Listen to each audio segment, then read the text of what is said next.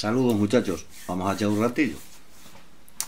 La verdad es que da pena, bueno, por no decir otra palabra más, más fuerte, da pena el ser humano, al menos en muchas de sus versiones.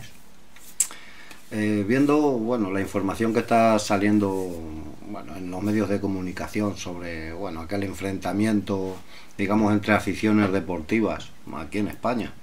en las que murió bueno, uno de los seguidores de uno de los dos equipos, da igual un equipo u otro. No estamos hablando de que unos sean mejores que otros, porque en realidad eh, el tema que voy a tratar es sobre eso, sobre el fanatismo. Ese fanatismo que, ya digo, eh, la información de esas conversaciones que algunos de los integrantes de, bueno, de esas revueltas,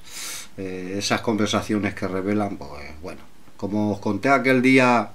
en, bueno, en esos apuntillos que os di sobre la película del experimento, de que dejas el poder en manos de personajes de este tipo, hasta dónde puede llevar, llegar su sadismo, su fanatismo, en contra de, ya sabéis, del, del otro lado, del enemigo. ya digo que es de hacérnoslo mirar, porque incluso, como os digo, en el mundo del deporte, por decirlo de alguna manera, porque entre las mafias que mueven ahora mismo de una y otra manera todo este mundo del deporte de élite, por decirlo de alguna manera, y el fanatismo de unos poquitos, mm, ya sabéis, esto estamos hablando de unos enfrentamientos entre aficiones, pero como os digo, muchos de mm, unos u otros soldados de una u otra causa a lo largo de la historia en cada cosa, o sea, cada fanático que ha hecho algo por esa causa, luego muchas veces es premiado con, bueno, con esto o aquello, muchas veces un, un alto cargo en una u otra en uno u otro puesto de administración de uno u otro país. Y esos personajes siguen siendo igual de fanáticos y esos personajes van a guiar al fanatismo, al enfrentamiento, siempre contra esos que él cree que son los adversarios. Para hacer una, bueno, una llamada de atención a lo que es a lo largo de la historia esto del fanatismo. Quizá ir a donde dicen, según cuenta la historia, que tuvo los orígenes quizá esos sicarios, que son en realidad lo que son todos esos fanáticos. Unos son sicarios, sicarios con, bueno, con cuchillo o pistola y otros son sicarios verbales lo vemos en los medios de comunicación, como personajes, tanto, ya digo, del nivel político, a nivel eso, del deporte, eh, no hacen sino atizar las ascuas para que la gente se enfrente, para que los otros sean cada vez más enemigos y peores, y nosotros llevemos más razón. Eh, ya digo que irnos un poquito atrás en la historia quizá nos muestre en qué acaba siempre todas estas historias y cuáles son los motivos de unos y otros para provocar ese fanatismo y ese enfrentamiento. Eh, por ejemplo, eh, si nos vamos más o menos a los primeros años, bueno, de nuestra era, por decirlo de alguna manera, de esta era después de Cristo, eh, vemos que, bueno, en los enfrentamientos que había entre, bueno, la dominación romana y los pueblos a los que iba dominando, eh, bueno, Jerusalén, a los judíos, pues más o menos los tenía un poco controlados, pero siempre había facciones que, bueno, se revolvían y hubo una gran revuelta que incluso, bueno, echaron a los romanos de la ciudad, de Jerusalén y demás. Claro, los romanos enseguida juntaron un montón de ejércitos, juntaron me parece dos o tres ejércitos de los que tenían por allí en los países de, al lado y cercaron, bueno, pues toda la ciudad. Indudablemente eh, todo esto mm, tenía en aquellos tiempos una doble lectura, porque había quien bueno, quien estaba ya asentado en el poder. Incluso con la dominación romana ellos tenían el poder, por ejemplo, las altas jerarquías sacerdotales y demás, pues tenían el poder y ya se apoyaban incluso en eso, en que eran respaldados por los romanos, que eran los que, bueno, dominaban en realidad. Entonces, bueno, pues los que eran antirromanos empezaron a, bueno, a llamarse sicari, que eran los primeros fanáticos que cuentan la historia. Estos sicarios iban, bueno, a todo aquel que, creían que estaba de parte de los romanos, pues bueno, lo asesinaban en mitad de la calle, en mitad de las concentraciones de gente, donde fuera, en los callejones, o sea, cogían con un cuchillo, los mataban y salían de, pita. O sea, estos sicari, eh, en realidad, de que la ciudad fue cercada, ya digo, por los eh, ejércitos, tuvieron pues, bueno, un enfrentamiento entre las facciones sacerdotales de las castas de poder, que tenían todo el poder, y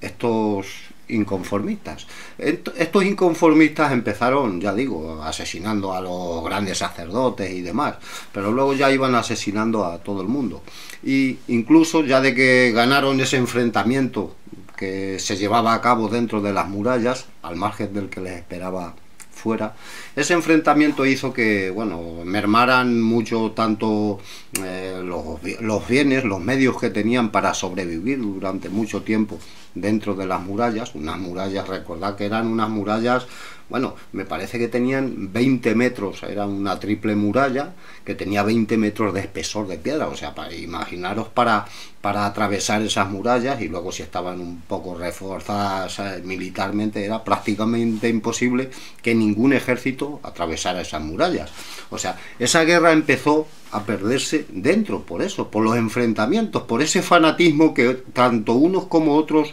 tenían de querer llevar la razón sin ver que bueno, quizá, quizá eh, su, su, esta, su meta era sobrevivir ante el acosador, claro, había unos que no les interesaba porque su poder estaba apoyado en que los romanos fueran los jefes y otros que no querían sentirse dominados.